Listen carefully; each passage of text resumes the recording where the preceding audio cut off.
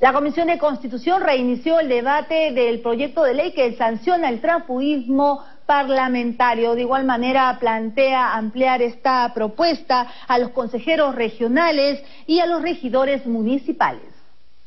El presidente de la Comisión de Constitución, Freddy Otárola Peñaranda, al exponer el predictamen, señaló que el transfugismo debilita la institucionalidad de los partidos políticos y genera la deslealtad partidaria. Igualmente, esta figura origina la crisis de Parlamento como órgano de representación popular e igualmente ocasiona la desconexión entre las concepciones ideológicas, los principios, los programas y la actuación del representante en el Congreso. En Brasil, por ejemplo, se recomienda a los partidos adoptar medidas disciplinarias en sus estatutos. Y en Bolivia y Ecuador cabe hasta la separación del congresista por conducta desleal con su organización parlamentaria.